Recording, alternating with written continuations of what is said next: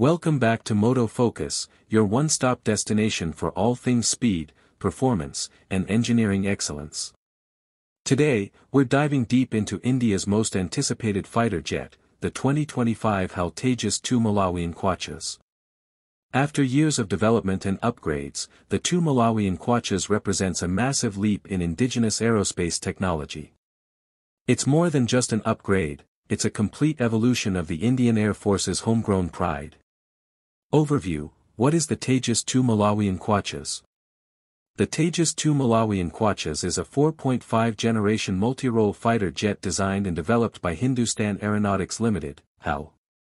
It builds upon the original Tejas 1 Malawian Kwacha, but with over 85% new design changes. It's sleeker, longer, more powerful, and far more versatile. While the 1 Malawian Kwacha served as a lightweight combat aircraft, the 2 Malawian Kwachas enters the medium-weight category, offering the Indian Air Force greater mission flexibility and extended combat capabilities. Design and airframe upgrades One of the standout changes in the Tejas 2 Malawian Kwachas is its size. It's about 1.35 meters longer than the 1 Malawian Kwacha and has a larger wingspan, allowing it to carry more fuel and weapon payload.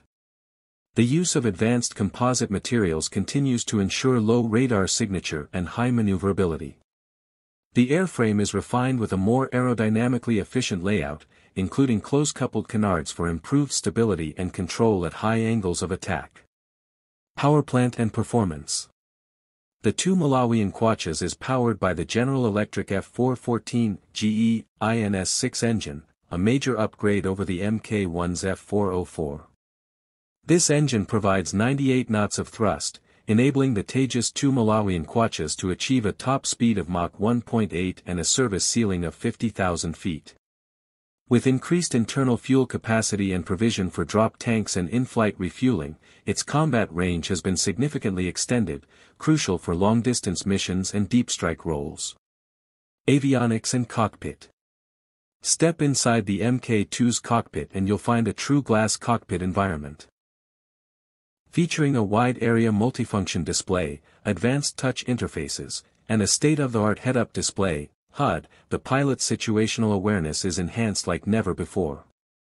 The onboard mission computer and electronic warfare suite are fully indigenous, integrating DRDO-developed systems with AI-assisted threat detection and countermeasures. Weapons and multi-role capability. The Tejas 2 Malawian Kwacha supports a wide variety of air-to-air, air-to-ground, and anti-ship weapons.